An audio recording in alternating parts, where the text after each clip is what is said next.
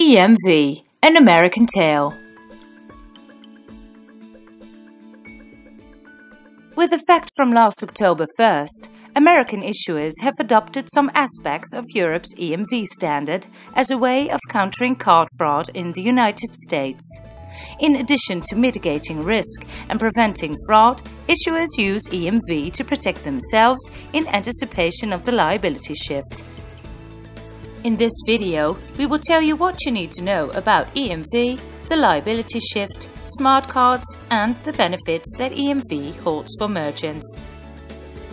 EMV is a technical authentication standard for payment cards and for the terminals and ATMs that accept them. EMV stands for Europay, MasterCard and Visa, the three companies that originally created the standard.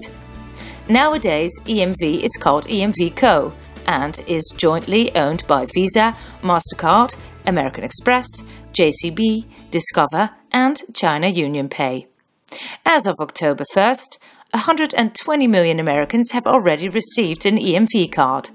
This number is predicted to grow to 600 million by the end of 2015. For merchants, the shift to EMV means adding new in-store technology, adding new internal processing systems, and complying with new liability rules. emerchantpay will be able to help you navigate the new situation seamlessly without interrupting your core business. Do not hesitate to reach out to us for assistance. Traditionally, the issuer has always been liable for card-present chargebacks due to fraud. However, with the advent of EMV, the liability now shifts to the acquiring bank or merchant, depending on them using EMV-compliant devices and applications.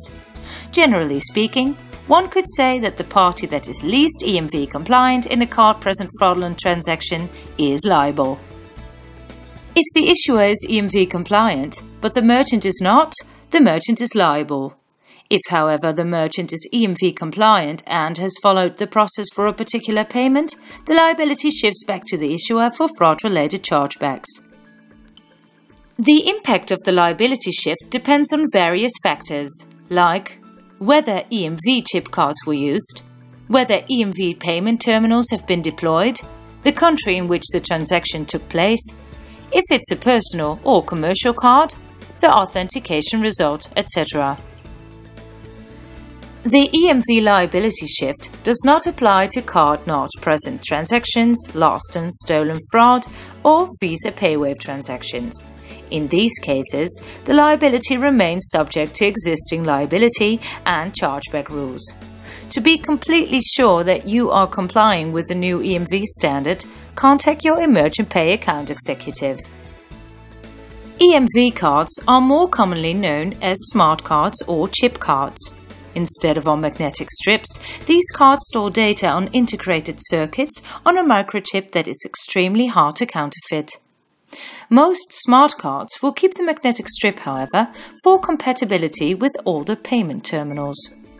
Smart cards can be used for multiple purposes data storage, authentication, card user identification, and or application processing. The card comes in two varieties, contact and contactless. With contact transactions, the cardholder dips the card into the payment terminal slot and provides a PIN or signature. With contactless transactions, the card has a Wi-Fi logo and the cardholder merely has to hold their card against the terminal to finalize the transaction. How will merchants benefit from the shift to EMV? Assuming that the merchant has an EMV-compliant payment terminal, these are the benefits for that merchant. Familiarity for consumers that are used to EMV, reduced administration, reduced fraud through new safety features like NFC, multiple storage options. For more information about EMV and what it means for your business, please contact our sales team.